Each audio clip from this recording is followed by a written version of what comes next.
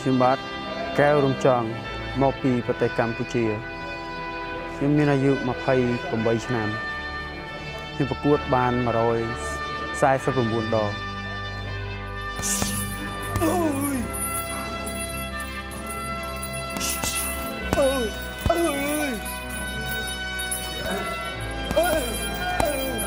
ខ្ញុំអឺហាត់គុនខ្មែរតាំងពីអាយុ5ឆ្នាំ បាទពីប៉ារបស់ខ្ញុំប៉ាខ្ញុំបរៀនខ្ញុំតាំងអាយុ5ឆ្នាំបាទមកដល់សប្តាហ៍ថ្ងៃនេះហេកាញ់ហេហាហ៊ីហេហាហ៊ីហេហាហាហេហេហេហេហេកាញ់ហេហេហាហេហាហេហាហេហា